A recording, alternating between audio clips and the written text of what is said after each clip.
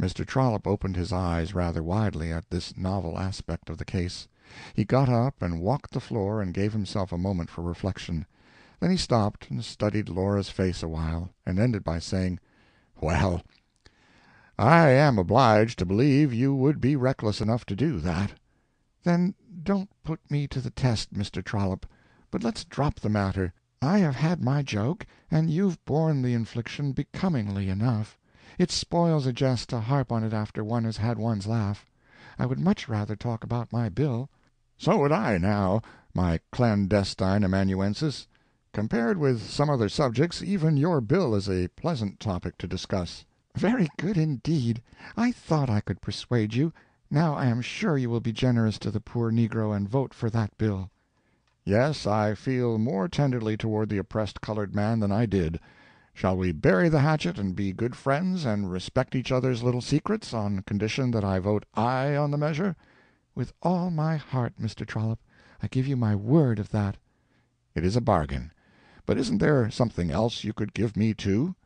Laura looked at him inquiringly a moment, and then she comprehended. "Oh, yes.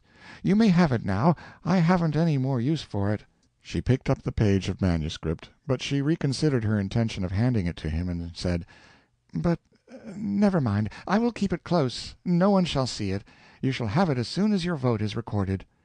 Mr. Trollop looked disappointed but presently made his adieu, and had got as far as the hall, when something occurred to Laura.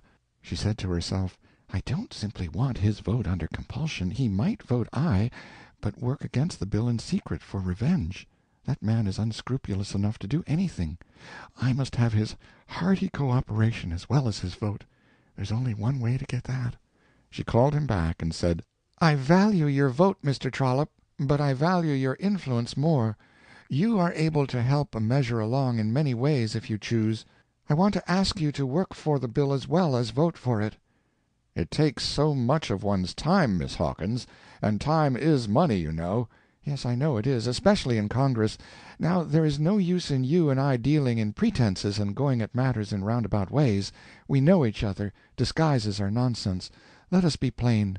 I will make it an object to you to work for the bill. Don't make it unnecessarily plain, please. There are little priorities that are best preserved. What do you propose?" "Well, this." She mentioned the names of several prominent Congressmen.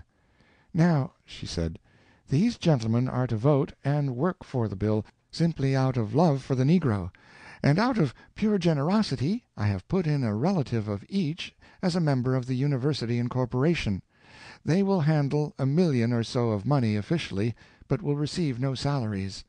A larger number of statesmen are to vote and work for the bill, also out of love for the negro gentlemen of but moderate influence, these and out of pure generosity I am to see that relatives of theirs have positions in the university, with salaries, and good ones, too. You will vote and work for the bill, from mere affection for the negro, and I desire to testify my gratitude becomingly. Make free choice. Have you any friend whom you would like to present with a salaried or unsalaried position in our institution?" "Well, I have a brother in law." "That same old brother in law, you good unselfish provider! I have heard of him often, through my agents. How regularly he does turn up, to be sure!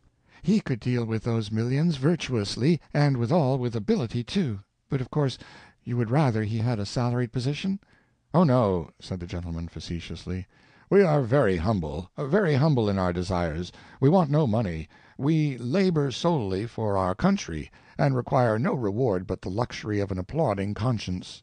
Make him one of those poor hard working unsalaried corporators, and let him do everybody good with those millions, and go hungry himself. I will try to exert a little influence in favor of the bill."